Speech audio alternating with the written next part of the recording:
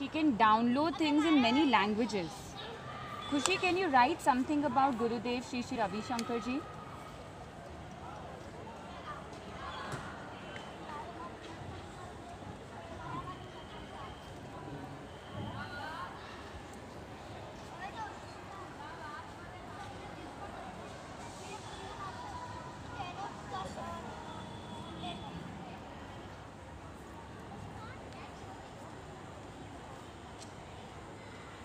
Khushi, which language is this?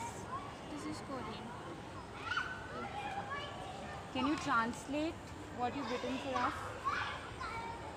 I have written Gurudev Sri Sri Ravi was born in 1956 and uh, the born place of uh, his was Papnasham and uh, his mother's name was Vishalakshi and father's name was uh, Venkat Ratnam and now I'll write ahead. So these things, do you know this already?